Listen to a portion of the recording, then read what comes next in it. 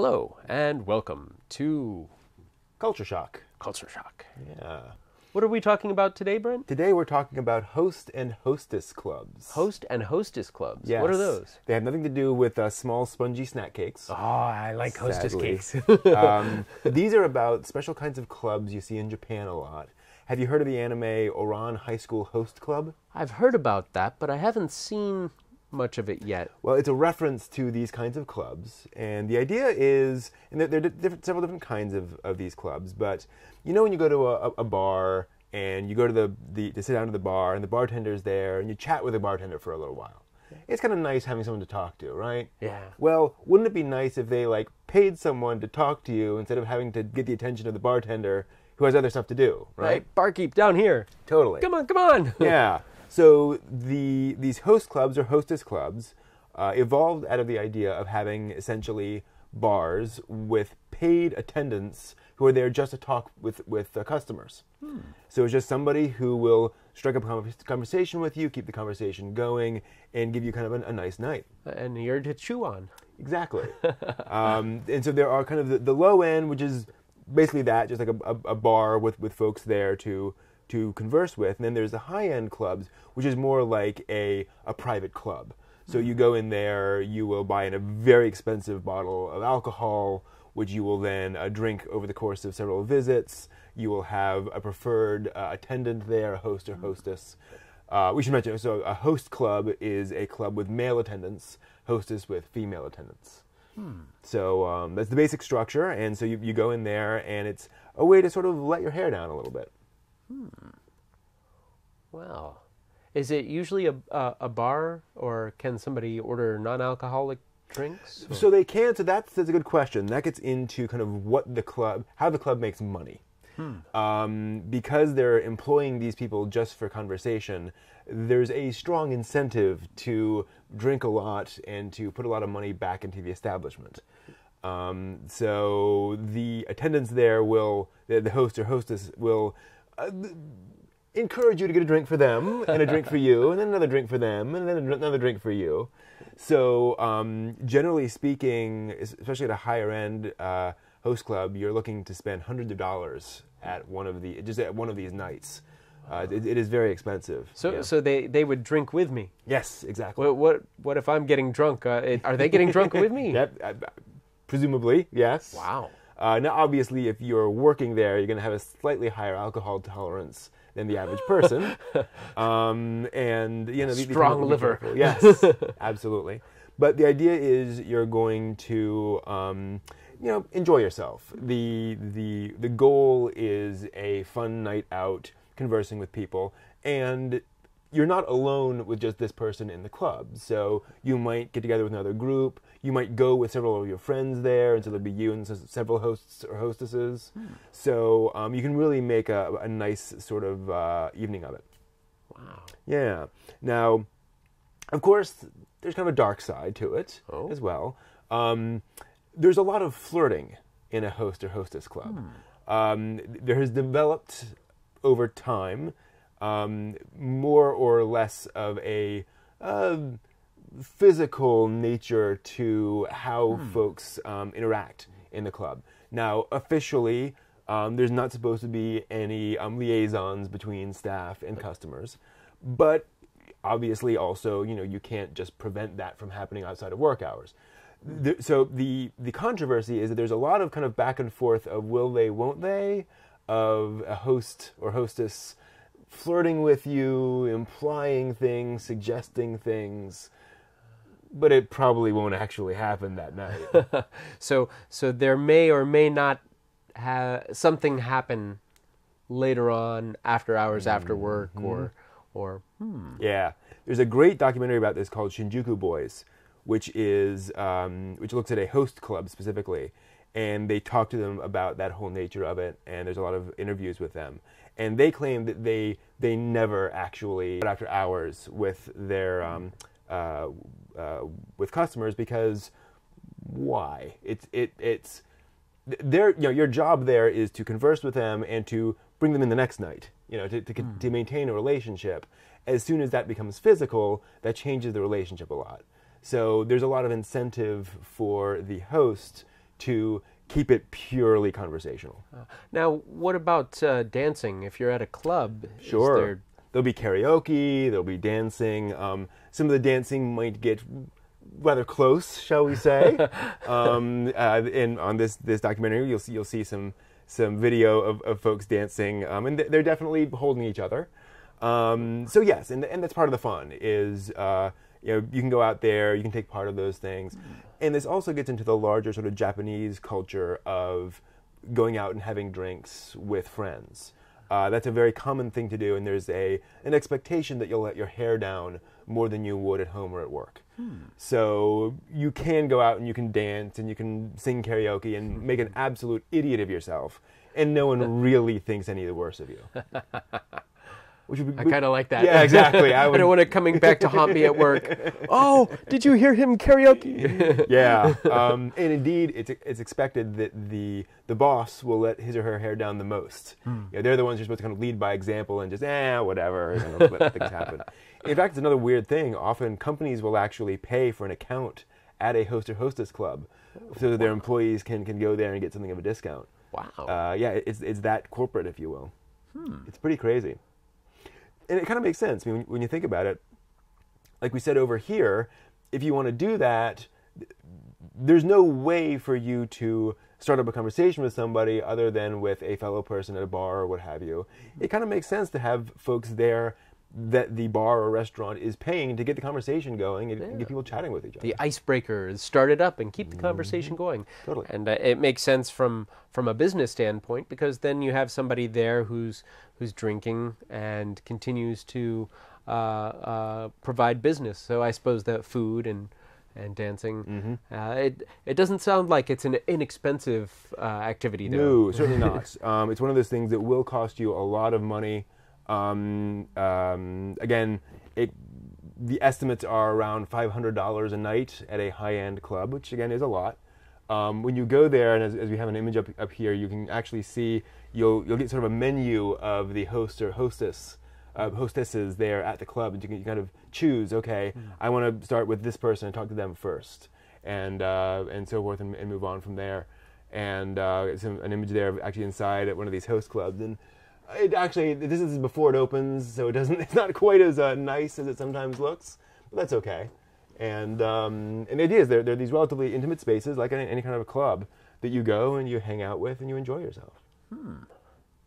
Comfortable ambiance. Comfortable ambiance, exactly. And you know, a lot is made of this sort of physical relationship with, with folks, but the reality is, pretty much everyone knows the score. You know, they understand what what, what each side is there for. So unless you get really um, unless a customer gets really confused about what they're there in the uh, uh, in, in the establishment for, they know they're there for a night of drinks, and then you go home and you go back to work. I the suppose there's rules, and if a customer oversteps Oh, the yes. bounds, Yes. they cut them off or there are very large, very burly men stationed Rah. outside, you know, uh, in case things like that happen. Um, and yeah, you got to do it. Now, of course, the other um, controversy is the fact that this is a very um, easy job to get into for an attractive young woman or young man. Um, there's a fairly complicated process for getting a work visa if you're uh, from outside of the country, but foreigners are um, in demand in those clubs. So there are a lot of illegal, you know, there's a lot of illegal work going Oh, some on. under the table. yeah, exactly. And some of it is legitimately okay. It's going to take you three months before the paperwork comes in. You know, we're going to make it work until all the I paperwork gets eat, I gotta eat. Yeah, exactly.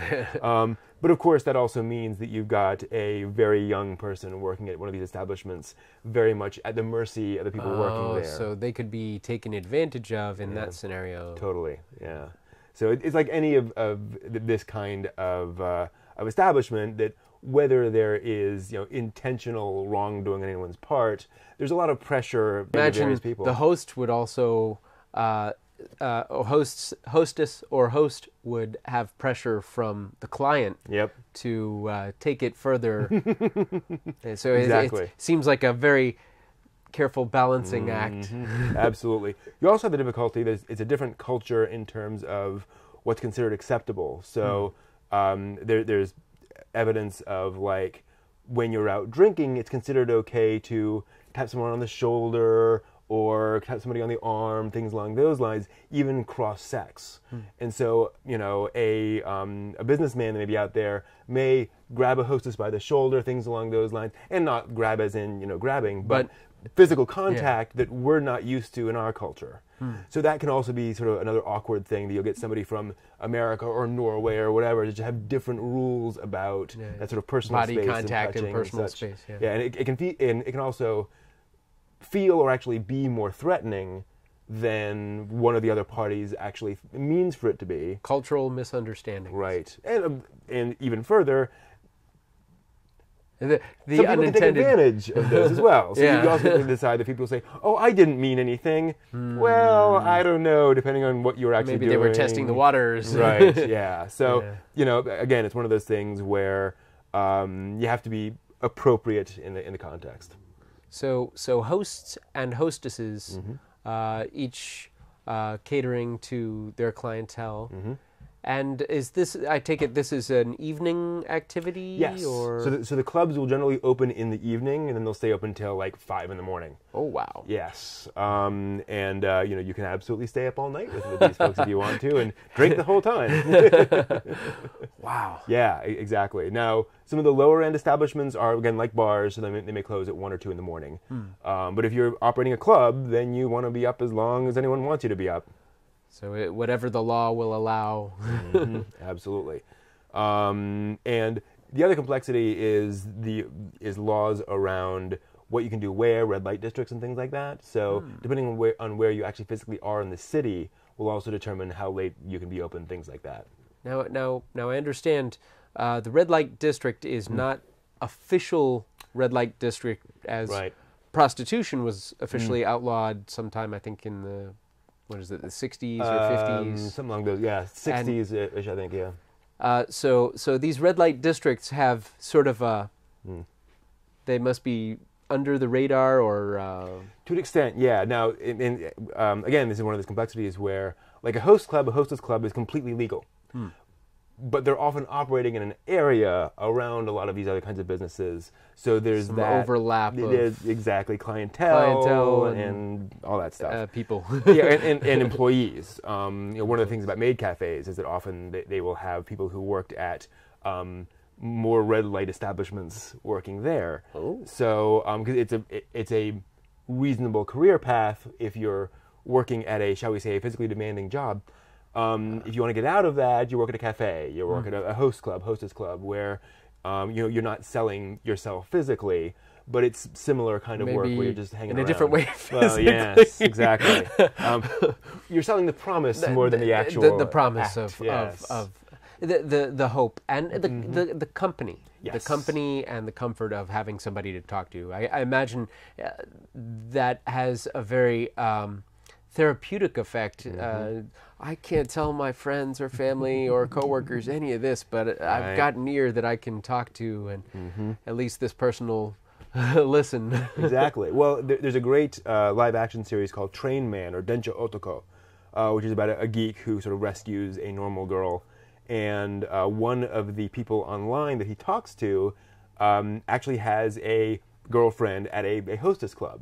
And so you can see scenes in this series where he's going to this hostess club and kind of talking to her about what he's seeing that his, his sort of online friend is doing. And you get to see, and of course, that's a, a one specific cultural example of this. But you, you, you see that idea that um, the guy going to the club, he's an otaku. He doesn't have a lot of friends.